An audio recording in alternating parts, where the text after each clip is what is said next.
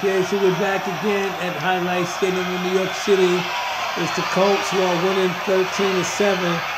The Hornets have the ball and they are threatening now to try to get out of this hole. They need to. It's uh they need to get out the hole as fast as they can. They're deep in there.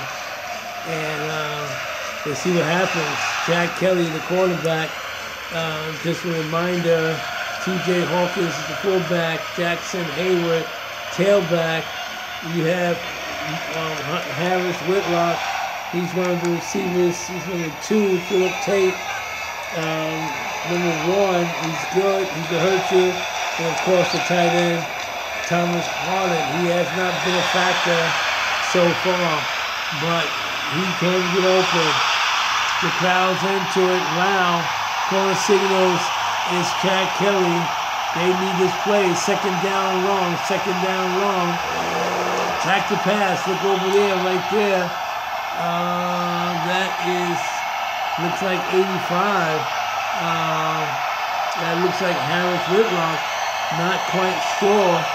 Uh, no, that's Phillip Tate, who just broke free into the secondary. Uh, quick down and out. And uh, be right back.